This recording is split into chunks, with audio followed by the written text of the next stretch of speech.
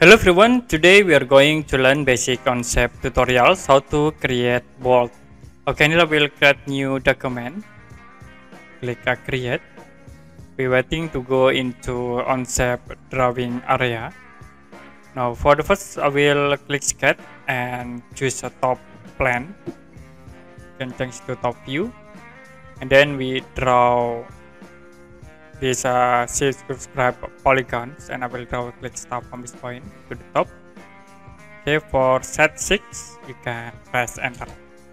Click close and then you can use extrude tools to convert uh, this sketch into 3D. Click this icon, select uh, this sketch and then I will move to the bottom a bit like this.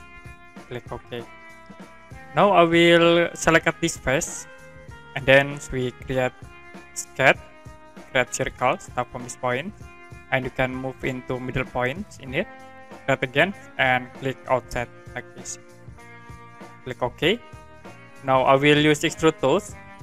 Use uh, remove options and then you can select at uh, this face. You can select one by one at this face.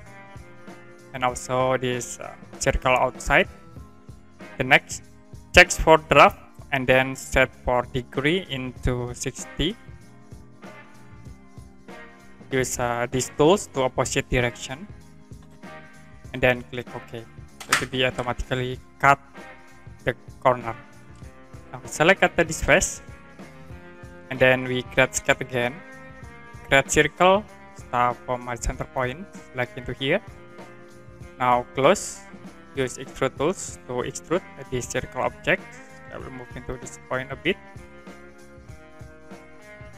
Click OK and we create again circle at this face can select sketch circle and click from center points into this point.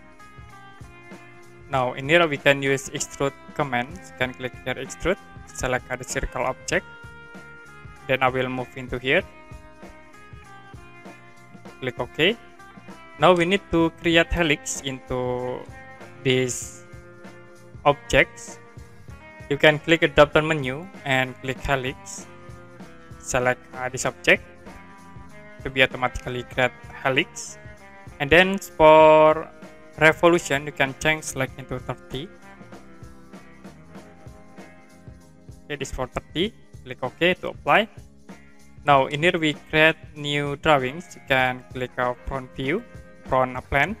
Click sketch will change it to front and then I will draw three angles with uh, these tools. Okay we draw in here three angle. You can click and set into three for side the next make vertical at uh, this edge. Click at uh, this constraints and use vertical. Select this line object.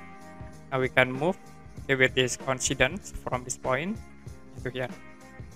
If you create lines from this point the size to this point is 6,7 so I will set for length this line object 6,5 press enter its space 0,2 now the next you can click ok.